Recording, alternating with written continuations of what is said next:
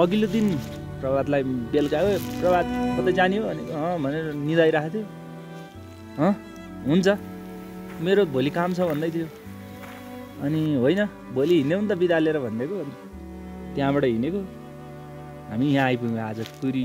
यो चाहिँ खासमा हाम्रो कुनै योजना बिनाको यात्रा थियो क्या।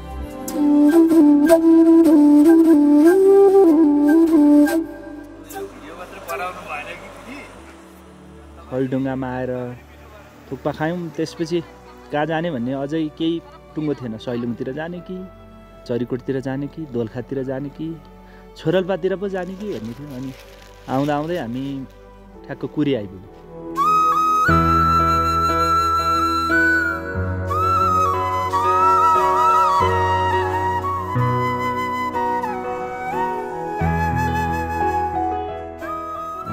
बेलुका सात बजे छ सात बजीतिर आइपुगेका थियौँ।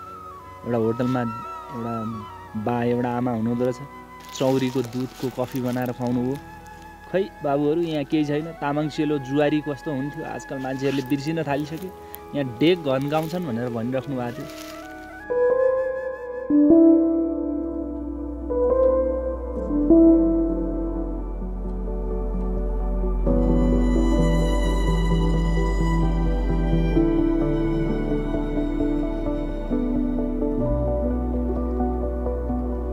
यो ठाउँको चाहिँ आनन्दले बस्ने खर्कहरूमा क्या आनन्दले अनि पाहाडहरू हेर्ने बादलहरू हेर्ने सल्लाहका रुखहरू हेर्ने अनि मजा आउँछ क्या खासमा। शान्त अनि शान्ति पनि मिल्छ क्या।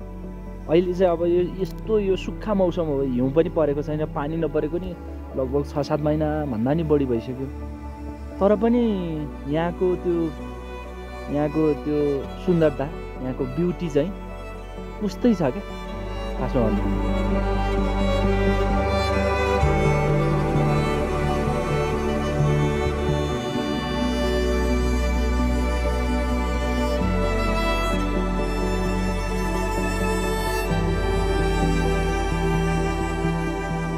यो कुरी चाहिँ अच अचम्मको मौसम यहाँको। बेलुका पहिलो पहिलो घाममा हिमालहरू पहेँलो भएर टल्किरहेको। अनि त्यसपछि बिहान पुरा तल फाँटहरू जस्तो देखिने बादलहरू। अहिले अहिले अहिले एकैछिनसम्म पुरा खुलेको थियो हिमालहरू। फेरि कहाँबाट बादल आयो? पुरै छोप्न लागिसक्यो। ठ्याक्कै यो कुरीमा चाहिँ आइपुग्दो रहेछ क्या यो बादल। यहीँ यहीँबाट यहीँबाट बिलाउँदो रहेछ कि यो बादल। पाहाडहरू त्यसपछि ऊ पर पर हिमालहरू देखिएको। अनि खर्कहरू। मजा लाग्यो। प्रभात तिमीलाई कस्तो लाग्यो भन न यार। म मात्र बोलेँ। मलाई त गजब। मैले अघि नै भन्छ कि। मैले जस्तो सोचेको थिएँ नि त्यस्तै त्यस्तै खालका त्यो पाटन टाइपको ठुम्काहरू छन् अँ। अनि मलाई त रमाइलो लाग्यो। खास मैले जस्तो सोचेको थिएँ त्यस्तै पाएँ मैले त। अहिले फेरि अझै पुगिरहेको नि खास भिडियो फोटो खिच्न। अहिले फेरि जानुपर्छ।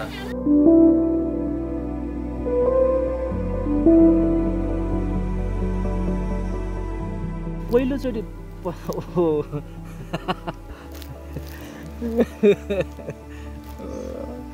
म पहिला एकचोटि आएको थिएँ यहाँ। त्यति बेला हिउँ परेको थियो खासमा म बेलुका सात बजीतिर आइपुगेको थिएँ। अनि साथीसँगै आएको थिएँ। अनि हिउँ खेल्दै खेल्दै अलिअलि माथि आएपछि पुरै हिउँ थियो। यो यतातिर त आउन सक्ने यो अहिले अलिकति हामी रोडबाट अलि माथि उक्लिएका छौँ लगभग तिन सय मिटर जति अगाडि उक्लिएर यो डाँडामा छौँ यो खर्कामा छौँ त्यति बेला चाहिँ यो पुरै हिउँै हिउँ थियो। त्यहाँ पुरी पुग्न पनि समस्या थियो कि?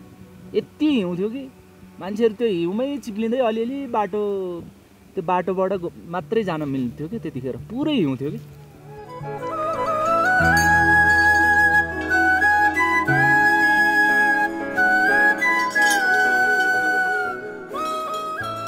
अनि यो खासमा त्यो मन्दिर पुगेपछि चाहिँ मलाई अचम्म लाग्यो कि त्यतिखेर पनि अहिले पनि क्या बिचमा छ एउटा डाँडा अनि त्यहाँ मन्दिर छ। अनि उता पनि गाउँ गाउँ जस्तो पाहाड साना साना पाहाडहरू छन्। अनि वरिपरि हिमाल छ क्या यो चाहिँ यहाँको यहाँको सबैभन्दा ठुलो सुन्दरता हो क्या त्यो त्यो माथिको त्यो मन्दिरमा पुगिसकेपछि चाहिँ यतापट्टि पनि हिमाल देखिन्छ उतापट्टि पनि हिमाल देखिन्छ। पुरै वरिपरि हिमालले घेरेको डाँडो हो क्या यो कालिम्पोङ चाहिँ? हिउँहरूले छोपिएका डाँडाहरू अहिले अलिअलि यो घाँसहरू सुकेका घाँसहरू अनि अनि अलिअलि यो हरिया रुखहरू अनि हिउँ नपरेको हुनाले हिमालको अगाडितिरका काला पाहाडहरू अनि त्यस्तो देखिन्छ त्यतिखेर चाहिँ पुरै हिउँ थियो कि।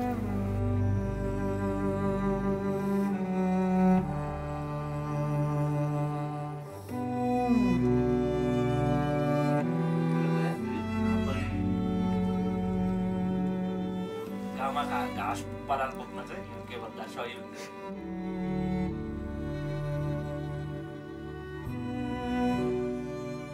नागाला फोम भाउ अनि चना भाउ अनि पुई भाउ अनि त्यति जे जे भनेको मिल्यो मिल्यो दाइ मिल्यो? मिल्यो नि त दाइ।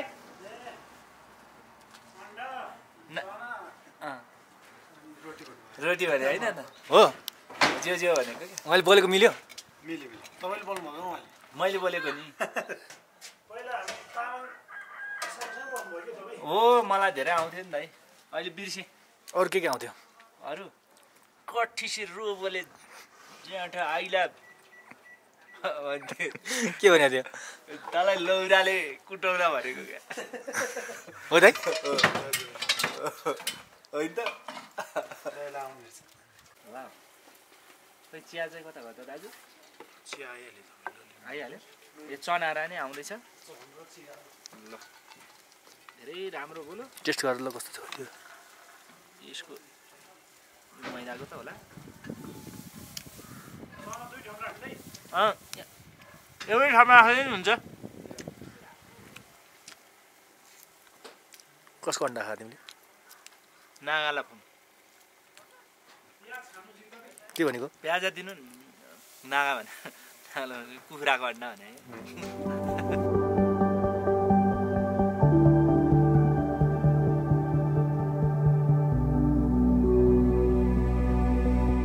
यहाँको कुरीको भनेको पुरानो मान्छेहरूले के भन्छन् भने यहाँ यो त हाम्रो खर्क हो। या त हामी चौरी चराउन ल्याउँथ्यौँ। भेडा च्याङ्राहरू राख्ने ठाउँ हो हाम्रो यो पहिला।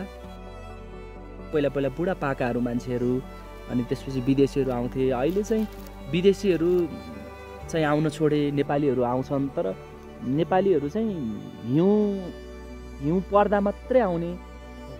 एउटा मात्र त्यति नै हो। भयो त सक्यो त। यो यो नि आयो।